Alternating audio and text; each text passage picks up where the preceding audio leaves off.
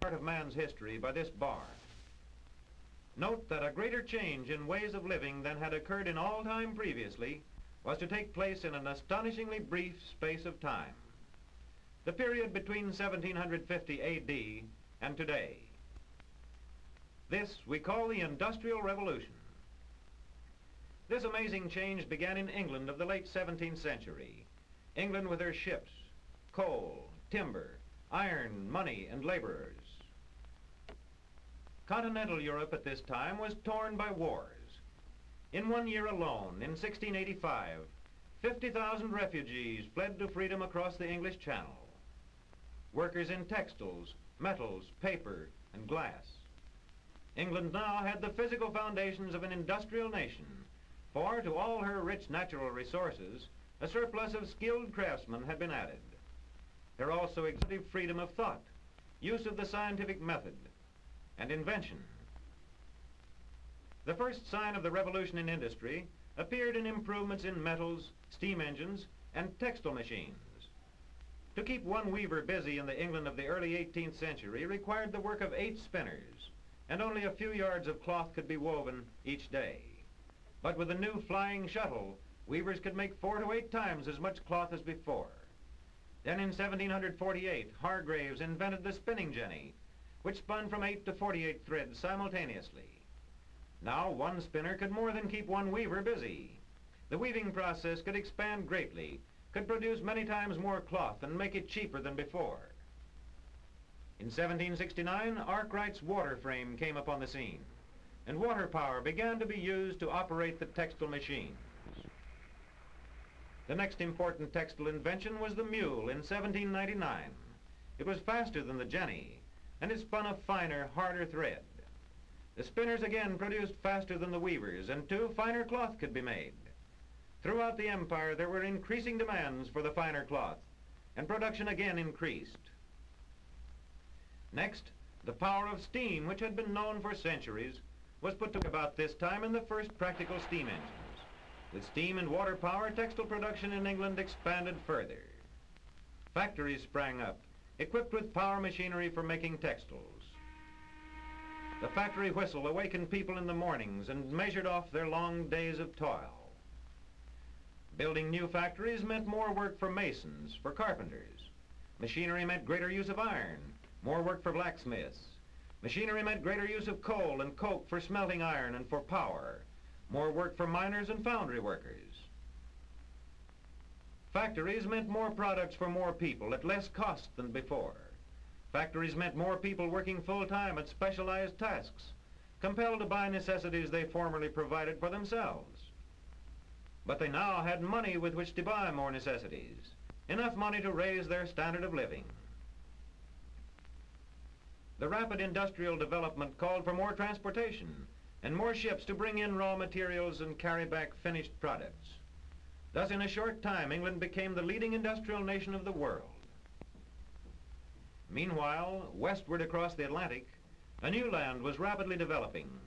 It was blessed with varied resources, forests, water power, coal, iron, gold, silver, copper, oil and gas, fertile soil, a vast array of materials, many of which were to be developed by generations to come.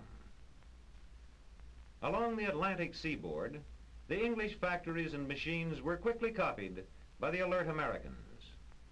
In the South, cotton long had been raised. Good cloth could be made from its fluffy staple, and there was an abundance of slave labor. But one slave could separate only about a pound of staple from seed per day. The saw teeth of Eli Whitney's cotton gin could separate from 50 to 100 pounds per day. The cotton gin saved the South from bankruptcy. Quickly, land in the South increased threefold in value. Cotton became king. The spinning and weaving mills of the Northeast were multiplied and enlarged. Thousands of added workers went into the textile mills. More cloth, better cloth, cheaper cloth became available to more people. Other thousands must now go into other factories. For example, for making shoes for the textile workers had no time to make many of the things they needed, but they did have money with which to buy them. Next, there came a great surge of invention. In a single decade, from 1840 to 1850, 6,000 patents were granted, the most important being the telegraph and the sewing machine. Other new factories began to produce new machines and tools based upon these inventions. More factories demanded more iron for machines, more coal. The iron and coal industries grew. Population grew with the westward movement of Native Americans and with the arrival of European immigrants to help work in mines and factories, to help raise food on the farms. Machines constantly came into wider use. The rich soil of the Middle West was increasingly cultivated to feed the teeming populations of growing factory centers. America perfected labor-saving farm equipment. The Bessemer furnace in 1856 replaced brittle pig iron with hard steel more delicate machines, more precise, more powerful machines could now be built. For example, better railroad rolling stock to help make possible this growth of American railroads by 1870. The factory cities needed an increasing supply of raw materials, which railroads often had to haul long distances. Transcontinental rail lines encouraged the improvement of steam engines in ocean-going ships. The development of steam power made possible the spread of a railroad network that today in the United States alone is in excess of 250,000 miles. The great distances likewise called for rapid communication and gave reason for the long experimentation out of which developed the world's greatest system of telegraph and telephone lines. The advent of the internal combustion engine virtually created both the modern petroleum industry and the automobile industry. Machines using petroleum products greatly contribute to our modern age of power. So too, steam-driven machines are symbolic of our power age. Likewise, electrically powered machines. All these are part of a modern age of machines powered by petroleum, coal, and electricity. Power and the highly important standardization of parts and mass production with its assembly lines have created more mechanical slaves for man. Transportation servants, power transportation on land, power transportation on the sea, power in the air, power-driven mechanical servants, delicate and complex machines to make man's clothing for him, mechanical spinners and weavers that now make thousands of times as much clothing as could have been made 200 years ago if everyone then on earth worked at spinning and weaving. Power machines to help process and preserve food and to transport it so that neither season nor distance can shut off an adequate supply.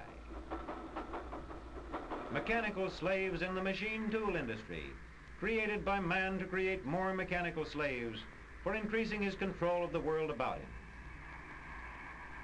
In these machines, after a few short centuries of the Industrial Revolution, the average man in the United States today is said to have at his beck and call 20 mechanical slaves.